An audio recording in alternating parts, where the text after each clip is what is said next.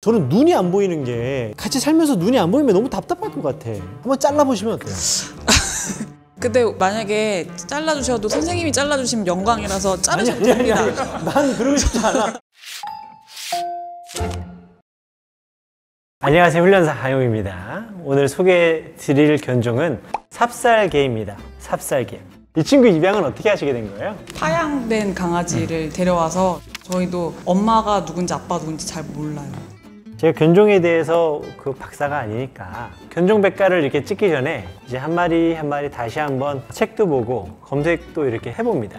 이번에도 삽살개라고 해서 검색을 하는데 아니 삽살개하고 제가 되게 가까운 사이더라고요. 어떻게 제 이름이 거기 이렇게 딱 있는지 제가 깜짝 놀랐습니다. 제가 이제 여러 가지 했던 말들이나 또 여러 가지 행동들이나 이런 것들이 여기 나무 위키 있더라고. 그래서 삽살개라고 하면 그 당시에 나도 욕도 먹었고 아, 여러 가지로 그랬던 기억이 납니다.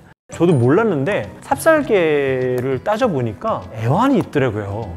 일제 강점기 때 이 친구들이 모피하고 고기로 많이 쓰였다는데 그런데 그때 진돗개는 아끼다 하고 비슷하게 생겼다는 이유로 보호를 받았다 그래요.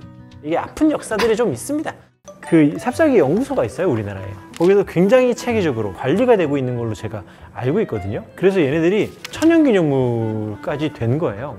저 삽살개 같은 경우에는 입양을 삽살개 연구소에서 하는 게 제일 정확하다고 합니다. 거기서는 효통이 잘 관리된 강아지들을 이렇게 입양을 보내고 있기 때문에 그리고 이게 삽살개라는 뜻이 삽, 퍼내다, 살, 애군이라는 뜻이어서 삽살개를 귀신 쫓는 개라고 했던 것 같아요. 이 눈이 의외로 부리부리해요. 이 눈을 이렇게 보면은 갑자기 소, 소눈, 소눈, 소눈처럼 커요. 살짝만 눈 이렇게 보자. 어이구 예뻐라. 눈이 진짜 부리부리합니다. 눈썹 이렇게 기냐. 아이고 예뻐라. 저는 눈이 안 보이는 게 같이 살면서 눈이 안 보이면 너무 답답할 것 같아. 아 저희 개는 원래 핀을 가끔 꽂는데 쿠쿠가 너무 싫어해서 손으로 쳐서 저희 그냥 내리고 있어요. 아 근데 저도 좀 궁금한 게 진짜 앞이 안 보이나 이게 궁금하긴 해요. 모든 사람이 물어보거든요. 앞이 보이 산책하면 하루에 다섯 번 이상 보- 물어보시는데 간식을 던져주면 핀을 할 때는 이렇게 받아 먹는데 내려오고 있을 때는 못 봐요. 아, 그, 그럴 수 있죠. 네. 아, 근데 한번 잘라보시면 어때요? 근데 만약에 잘라주셔도 선생님이 잘라주시면 영광이라서 자르셔도 됩니다. 난 그러고 싶지 않아. 아니. 색깔은 보통 우리가 알고 있는 게 황삽살, 청삽살인데 털은 대체로 이 정도입니다. 여기서 더 길지는 않고요. 이 정도까지 털이 자란 다음에 털이 자꾸 빠지죠. 털이 많이 빠집니다. 오, 그럼 덜 빠지네? 오, 잘안 빠지네? 잘 안 빠집니다. 삽살개는 털이. 사실 오늘 방송한다고 빗질을 그래요? 많이 하고 왔어요. 저는 예전부터 삽살개나 진돗개 이런 친구들은 중년 남자의 개다라고 이렇게 얘기를 좀 했었어요. 이게 애교가 많은데요. 나이가 먹으면 먹을수록 애교가 조금씩 적어져요. 근데 애교가 적어진다고 해서 의리가 없어지는 건 아니에요. 그래서 보통 나이가 조금 드시고 나 나중에 전원 생활하면 이라고 말하시는 분들 있잖아요. 근데 그런 분들은 대부분 토종개들을 많이 키우시려고 하는데 이 친구들이 어렸을 때 장난기는 있지만 나이가 들면서 장난기가 없어지고 은근한 의리가 있습니다. 그래서 키우시다 보면 장난기도 없고 나만 졸졸졸 쫓아다니면서도 예뻐해달라고 막 목매는 것도 아닌데 내 옆에 진득하니 있는 또 그런 매력과 장점이 있습니다. 이게 기본적으로 우리 한국은 옛날 옛날 옛날서부터 가축을 개량을 해야 된다라고 하는 개념이 없었어요. 그러니까 인간의 힘으로 어떠한 종을 개량을 한다라고 하는 개념이 우리는 없었어요. 그냥 얘는 우리 주변에 있었던 그냥 개였던 거예요. 우리하고 잘 살기 위해서 만들어진 개량을 한 개가 아니다 보니까 사람하고 어울리고 살갑고 뭐 가축을 이렇게 모는데 도움을 주고 협력하고 상호작용하고 이런 게 조금 부족했었어요. 한국의 개들은. 그렇다 보니까 조금 현대 개 같지 않고 옛날 개 같아요. 충성심이 강하다라는 말을 조금 더 풀어서 생각하면 좀 고리타분하다. 그래서 진돗개도 그렇고요. 뭐 얘네들도 그렇고 고전적인 친구들은 서열을 의식하고 사는 친구들이 많이 있습니다. 그래서 이제는 충성심 있을 필요가 없어. 요즘에 저 평생 직장이라는 거 있습니까? 없죠? 개들도 마찬가지야. 이제 충성심, 진돗개, 삽살개. 자, 잘 들어.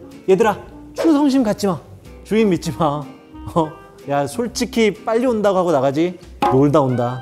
주인 믿지 마라. 여하튼 저는요 얘네들이 충성심이 없어졌으면 좋겠습니다. 서열을 좀 생각하지 않으려고 하고 조금 더 부드럽게 훈련을 하려고 하는 게 앞으로 우리가 좀 가야 되는 방향이지 않나 싶습니다. 네.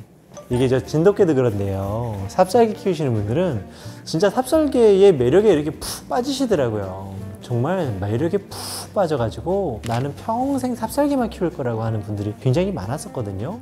혹시 이 친구를 좀 키우시면서 어떤 매력이 있으실 것 같은데요. 그 뒤뚱뒤뚱 걸어다니면서 귀여운 털을 이렇게 하는 대걸레 같은 매력이 있어요. 그리고 성격이 엄청 좋아가지고 인스타그램 커뮤니티 삽살개 키운 사람 보면은 다 성격이 싸나운 개들은 별로 없었던 것 같아요. 어이구야. 근데 요즘 분들이 잘 키우세요. 특히 진돗개든 풍산개든 삽살개든 토종개 키우시는 분들이 어떤 사명감을 좀 느끼면서 키우시는 것 같더라고요. 그래서 진돗개가 있는데 사나우면은 어 창피한 일이다. 삽살개인데 사나우면 창피한 일이다.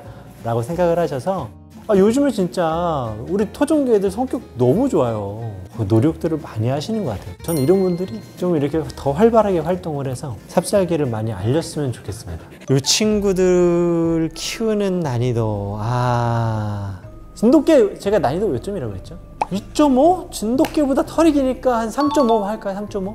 얘네들이 꽤 실내에서 오줌똥을 잘 안 싸려고 할 거예요. 산책을 나가서만 소변 대변을 보고 싶어 해서 산책을 자주 나갈 수 있는 환경이라면 난이도가 있을까 싶을 정도로 키우는데 그렇게 큰 문제가 되지는 않을 겁니다. 삽살개를 키우는 것 자체가 한 견종을 보존하는 일을 하고 있다라고 하는 어떤 사명감을 가지셨으면 좋겠어요. 그래서 열심히 키우시고 우리나라 토종견을 보존하고 있다. 그런 사명감을 가지고 있다. 강아지를 키우셨으면 좋겠습니다. 우리 삽살개는 우리 국가의 보물이다. 그래서 이 보물을 조금 더 잘 아껴서 좀 우리 삽살개가 우리 현대 사회에 잘 맞게 개량이 돼서요. 전 가끔씩 저 일본 보면서 일본에 시바이누가 진짜 많거든요. 되게 부럽더라고요. 저도 삽살개가 우리나라 인기 순위 1위, 뭐 가끔 진돗개 1위, 이렇게 1위, 2위 이렇게 하는 견종이 됐으면 좋겠습니다. 그래서 저 우리 키우시는 분들 또 키우고자 하는 분들 우리 보물을 보존한다 이런 생각으로 우리 삽살개 친구들 잘 키워주셨으면 좋겠습니다.